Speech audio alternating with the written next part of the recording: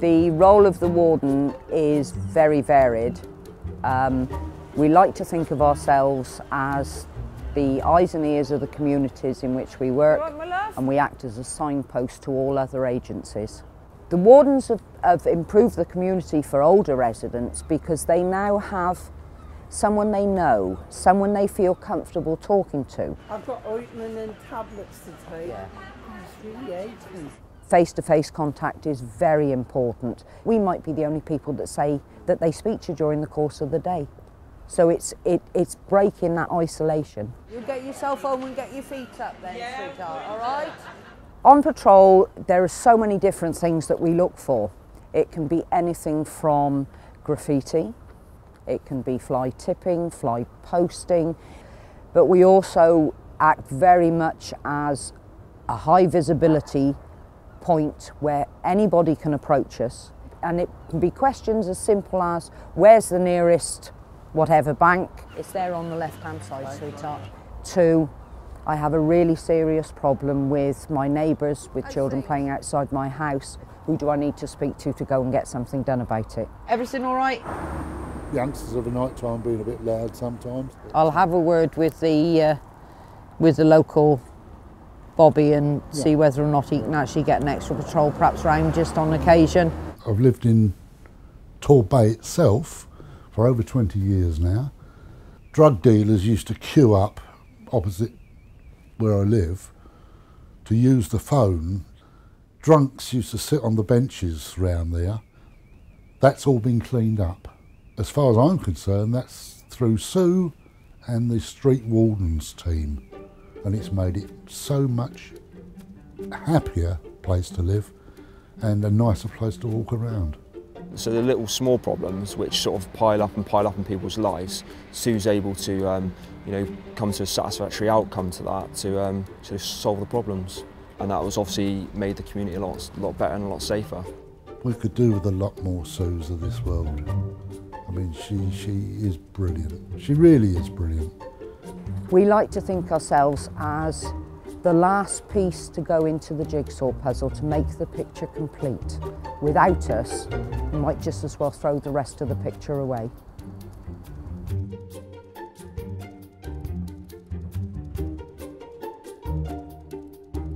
I'm uh, Melody Barber, I'm a community warden for older people in Salford.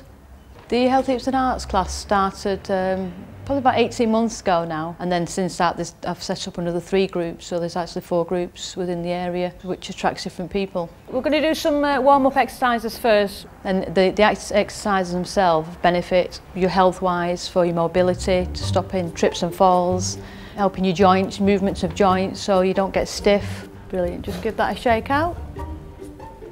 Reach out to the community, I uh, produce a, a newsletter which I put um, into the community centres, into the doctor's surgeries, in the dentists, anywhere where older people would go and actually see the newsletter. And in the newsletter it states where, the, where there is a coffee morning or where they could go to a computer course or the Healthy Hips and Hearts groups. That's it. Thank you. Doctors' surgeries, um, if people go to them with, with health issues, they refer them to the Healthy Hips and Hearts groups as well. Does your fingers end up being cold? Is, is it just cold all the time? Oh, yeah, right. We always have a good laugh. I stay for dinner, which I don't have to cook when I go home. And it's really great. They have lunch and then, you know, they have activities in the afternoon. Um, some people actually join other groups with the friends they've met. I get a lot of kick out of it through the fact that I've made, made new friends. Yeah. Months ago, I'd only walk a few, a few yards and I'd have to stop. We just talk about everything, everything that's going on in our lives. And we probably help one another by sharing. It's made me feel that I have an incentive to come out on a Monday, even if it's raining. And, you know, if you, when you live on your own and you can be in five days a week. So the incentive to come here, I think, is, is a very big thing for me. Just to stop isolation, getting people out of the houses and they're not sat in looking at the same four walls. It gets, gets them out of the house and, and, and have some fun.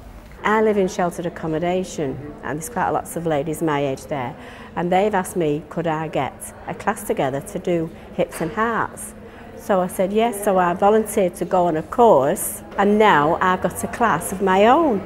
So that's one point for Melody because she's taught me how to do it. Do, doing Healthy Hips and Hearts, because you're doing it on a one-on-one or they see me on the street, so again it's face-to-face -face contact, um, you, do, you, do, you do build a bond uh, and, and you build trust. Mel is a, a wonderful person. She's um, helped an, an awful lot with me. To her, you're an individual, you're not a name on a piece of paper, and I think that's very, very important. Coming here, it's sort of getting a community together again. Uh, people know me, they, they know they can, they can get in touch with me if they need help with filling in a form or referring them to social services and things like that. Um, if my service wasn't here, then I'm, I'm, I don't know the, the turn to. It's, it's very important to have, to have these classes and, and to have community wardens out on the streets.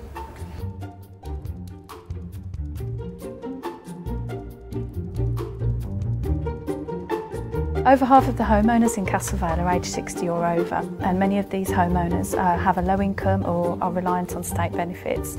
So Raswana's role was created to enable these homeowners access to services and to help them uh, maintain their homes. It's Raz here from Castle Vale. Our service bridges the difference between the services provided to tenants and homeowners and it gives the community the reassurance that there's somebody there to listen to them and they know that the inquiry will be dealt with. I'm just chasing up the handyvan referral that I sent to you. The handyvan service is where a person, if they need help with minor repairs, security issues, um, carbon monoxide detectors, smoke detectors, the handyman can provide and fit those for free. And I also assist with things like taking people shopping if they need help with that, picking up prescriptions, contacting utility companies on their behalf.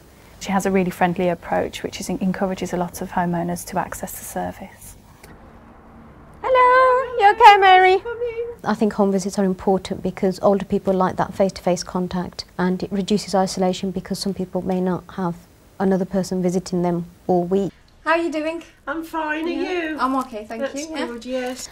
I get on really well with Mary. We have a really good laugh and a joke, and I've been conducting home visits for a couple of months to her. Did you bring your wedding photos? I did, yeah. Just here. She was concerned about her health and safety because she lived on her own and she has problems with mobility. So we recommended the Senior Link uh, pendant alarm system. I literally have this with me all the all time. The time. Good. I even forget I've got it on and go out with it. Good. Things like the door locks, door chain, grab rails, a carbon monoxide detector, all those were fitted through the handy van service and that helps um, be more confident.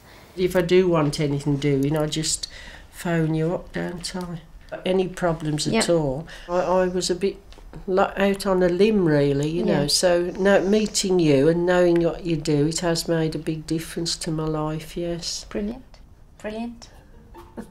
Best thing about my job is being able to help people uh, who may not receive the help and support from other people and just knowing that they can trust me and that I'll do the best for them.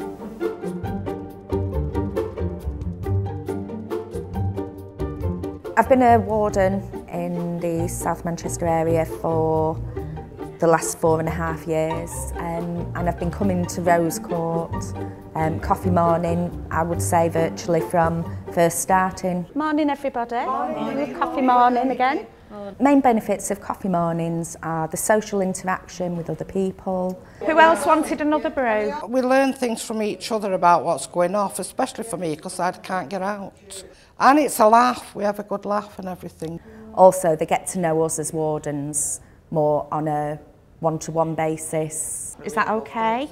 Thank you. I can pick up a phone to phone the wardens or anybody, but if I come in here, it's a one-to-one -one and it's more personal, isn't it? You know, you feel easier talking to somebody than just somebody at the end of the phone you don't know.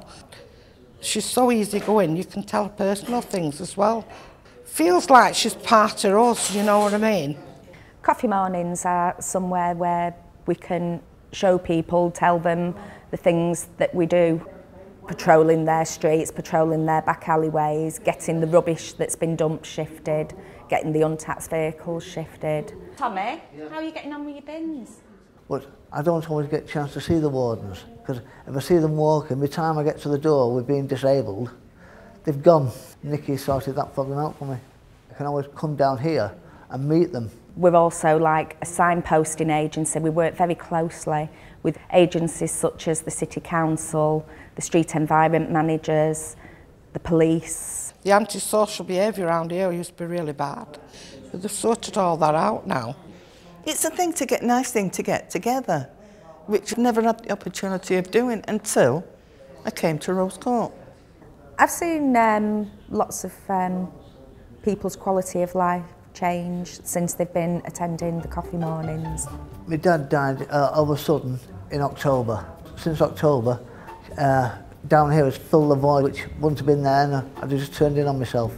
And building up new friendships and that, you know, it's a whole new lease of life for some people. I'll see you all next week. Yeah. And you know where we are if you've got any problems. What a great job to get paid to do. Age is not a disease. Or a misfortune. Or a cause for pity. It's not a state or a condition. It is life, it is human, it is us.